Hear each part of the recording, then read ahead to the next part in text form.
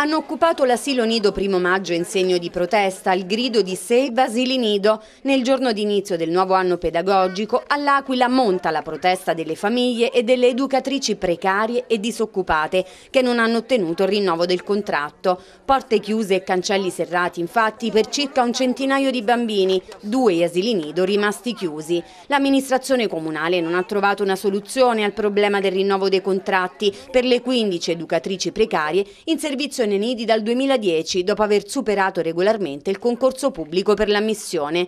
A poco sono servite le rassicurazioni della senatrice Stefania Pezzopane sull'emanazione della circolare del governo a firma del ministro Madia che ha permesso ad altri comuni italiani di rinnovare i contratti delle precarie storiche dei nidi. Il sindaco Massimo Cialente invece aveva affermato nei giorni scorsi che i soldi per il rinnovo dei contratti ci sono ma che non è possibile spenderli per mancanza di una norma.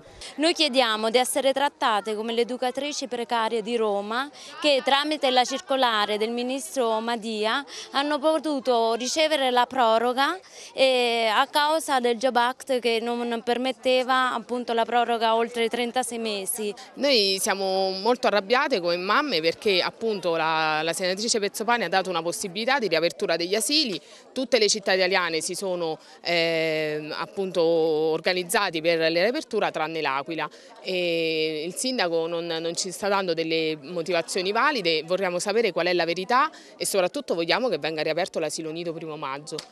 Anche la senatrice aquilana del Movimento 5 Stelle, Enza Blundo, esprime il più ampio dissenso riguardo la situazione nido all'Aquila. È ora che questa amministrazione comunale, dice, si assuma le responsabilità e trovi una rapida soluzione che di fatto già esiste. Il decreto Madia c'è, eh, le norme ci sono, quindi sono le amministrazioni locali che a questo punto devono attivarsi.